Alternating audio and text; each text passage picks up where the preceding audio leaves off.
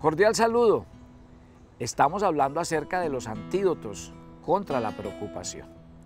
Y hablábamos que el primero de ellos, en la primera frase del Salmo 23 dice, el Señor es mi pastor, nada me faltará. Antídoto contra la preocupación. Este segundo nos habla de estar ocupados. ¿Quién de ustedes se siente ocupado? Les pregunto hoy, ¿cuántos de nosotros sentimos que ya las 24 horas del día no nos alcanzan? Que no nos queda, no nos, más bien, que nos hace falta mucho tiempo para hacer tantas tareas y tantas ocupaciones. Uno se pone a pensar en la gente del día de hoy y, por ejemplo, se dice que de la cultura paisa, se dice que somos muy trabajadores y muy emprendedores. Yo diría que nos hemos vuelto adictos al trabajo, ¿sí? Y eso está marcando una tendencia en el día a día, en la vida social de las personas. ¿Por qué? Porque usted mire a su alrededor, todo el mundo está cansado, todo el mundo está estresado, todo el mundo grita porque estamos sofocados. Parece que ya no hay tiempo para estar haciendo las cosas que nos gustan, de las que disfrutamos.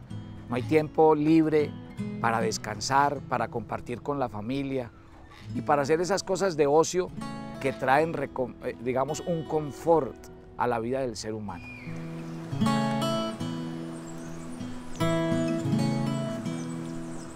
Así que si hablamos de estar ocupados, yo me pregunto, ¿en qué se ocupa la gente? Yo oigo a la gente decir, no tengo tiempo para dormir suficiente. No tengo tiempo de comer bien. No tengo tiempo de hacer ejercicio. No tengo tiempo para llevar una buena relación de matrimonio y una buena relación con mis hijos y con la familia. Ojo, esos factores donde decimos no tenemos tiempo. La Biblia habla de un texto que me gusta explicar de esta manera. Jesús dijo, donde está tu tesoro, ahí está tu corazón. ¿Sabe qué quiere decir el texto? que uno le corre a lo que cree importante. Si usted no tiene tiempo suficiente para comer bien, para hacer ejercicio, para dormir y para tener buenas relaciones, ¿qué quiere decir? Que hay otros factores como el trabajo que se están llevando nuestro mejor tiempo y están copando nuestra mejor atención y no puede ser así.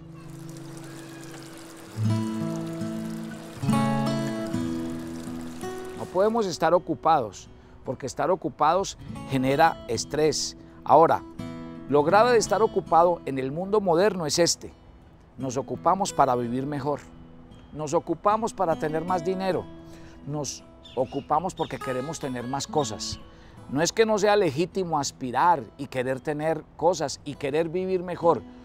Claro que es legítimo. Lo que no es legítimo es sacrificar la salud, sacrificar las relaciones y sacrificar mi vida personal por obtener esas cosas. Hablemos de antídoto.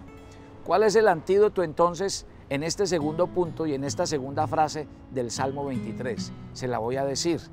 El Salmo 23 en el verso 2 dice, en lugares de delicados pastos me hará descansar y junto a aguas de reposo me pastoreará. Déjeme decirle que la paz de Dios no es ausencia de problemas. La paz de Dios es aprender a tener paz en medio de la tormenta.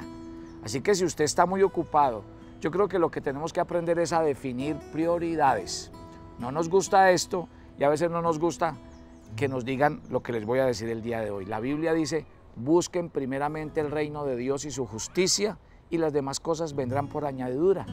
Y ese pasaje no está diciendo que nos volvamos vagos, que no trabajemos y que esperemos que las cosas nos caigan del cielo. Pero lo que sí está diciendo es que es un asunto de prioridades. Si usted hace las cosas en el momento justo y hace las cosas en el momento en que se tienen que hacer, lo demás va a resultar demasiado fructífero. Segundo antídoto para el estrés. ¿Cuál es? Aprender a descansar en la paz de Dios para que gobierne nuestras mentes y nuestros corazones.